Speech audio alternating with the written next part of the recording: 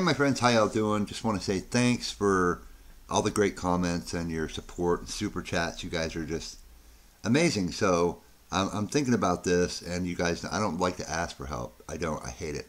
Uh, it's embarrassing. It's, it's. I just I feel ashamed. Um, but I guess sometimes maybe you have to. So my idea was for just the month of December, if you join Patreon for the dollar, uh, just one dollar, um, then I'll do a request for you. Like if you're you're gifting me a dollar, I'm going to gift you uh, our reaction. Uh, it will really help us out right now. Uh, out of a jam, guys. Really, I'm not the guy who wants to ever charge you guys, and I've said that over and over and over. And one of the channels that I looked at charges forty dollars uh, for a reaction, uh, but I don't want to do that, guys. Never. You know, I try to be honest with you. I, am just me. What you see is who I really am uh, in real life. Only in real life, I'm not PG-13. I'm sure. So definitely not PG-13.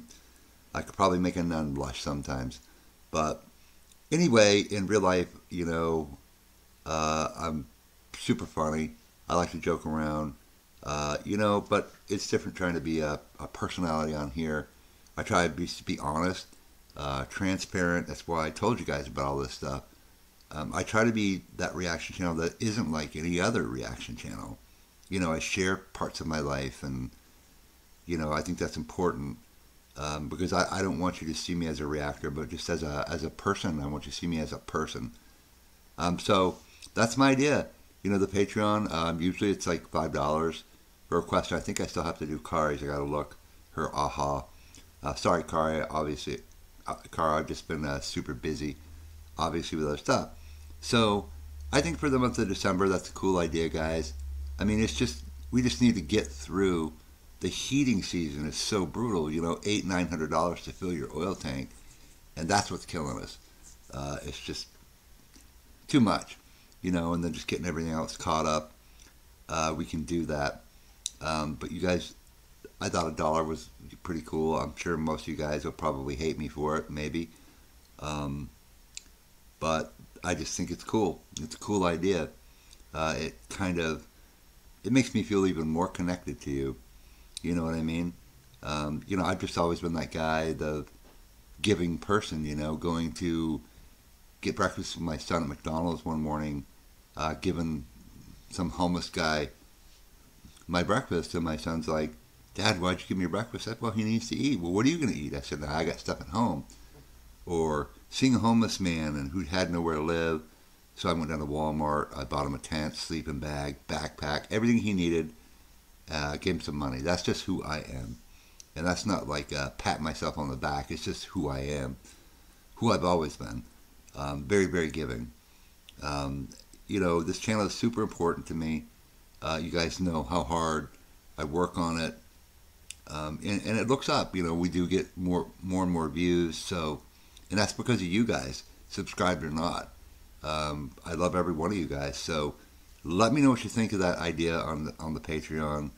Uh, a request, you know, for a dollar, you know, and for December only though. So if you stay at Patreon, I'm afraid if too many people do it, I'll have like so many requests I'll never get around to them. So, but if perchance we get a bunch, then I'll just keep doing them. You know, no big deal.